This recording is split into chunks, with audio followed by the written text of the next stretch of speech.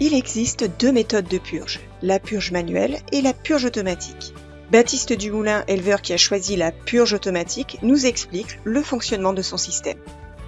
Ici, on est équipé de purge en surpression. Donc en fait, on a un détendeur central sur toutes les lignes. On est équipé de 5 lignes de pipettes. Euh, ce détendeur est équipé d'une électrovanne. L'itouche envoie une impulsion électrique qui fait que l'électrovanne s'ouvre.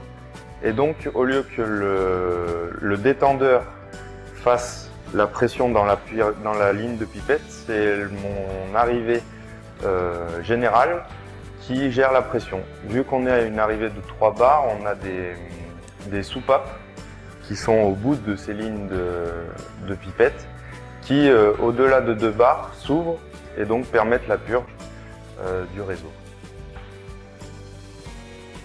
Qu'elle soit automatique ou manuelle, la purge permet le nettoyage mécanique des canalisations, et la distribution d'une eau plus fraîche aux animaux.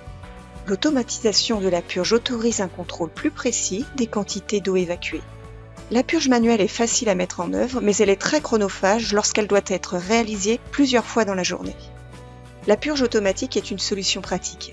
Elle peut être programmée pour être effectuée à certaines heures de la journée.